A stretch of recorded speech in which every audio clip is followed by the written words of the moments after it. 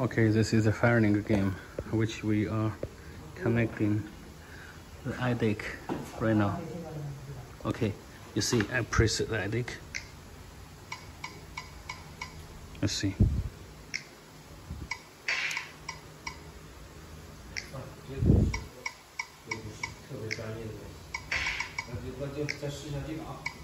You see and when I want to press this you a service or something. A precious ticket. Yes.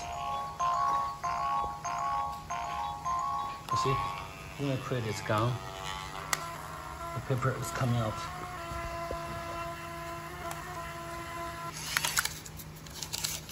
You see, this is a ticket.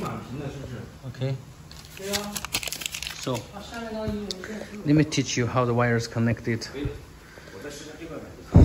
You see, this is a main board, right? This, uh, you're supposed to see this triangle. There is a triangle too. It's on the uh, top of the side. And then this is a VGA, which is connected with monitors. This is for the touch, USB touch cable.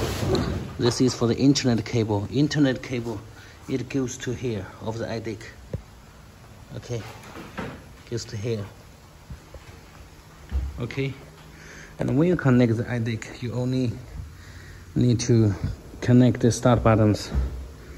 Start button is here. Okay, when you get the harness in our hand, you're supposed to, you see, there's wires.